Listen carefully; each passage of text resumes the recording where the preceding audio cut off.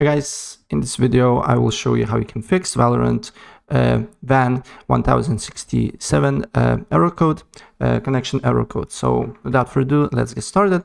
Uh, first of all, what you can do here, you need to make sure that your operating system and your GPU is fully updated. So you need to, on search, go to right here, check for updates and you need to make sure that your uh, operating system is fully updated and if it's not just download and install updates and restart your computer and then you need to look if the problem persists or not.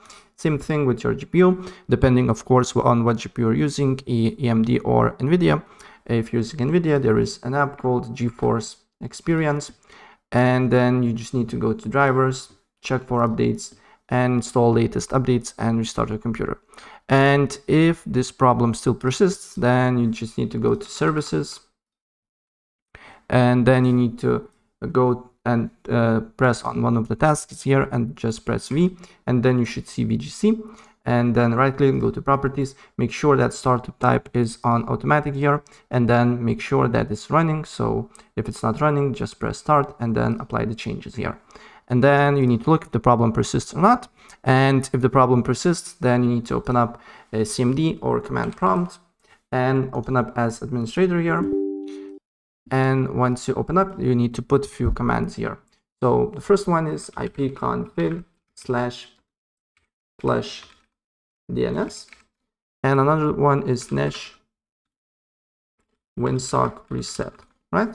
And then you start your computer and you need to look if the problem persists or not. And uh, if it uh, if this doesn't work for you then you need to go to settings the network and internet connection advanced network settings and then uh, scroll down until you see more uh, network adapter options. Then make sure to locate your internet here and then uh, just disable for a few seconds here and enable again. And then right click go to properties uh, make sure that Internet Protocol version 6 is disabled and then double click on Internet Protocol version 4. Uh, select this option, use the following DNS server addresses, and on preferred DNS server you need to write 8.8.8.8, and on alternate DNS server you need to write 8.8.4.4, apply the changes, and try the game. And the problem should be fixed. Right, so that's pretty much it, and if I help you out, please press like button and subscribe for more. Take care, bye.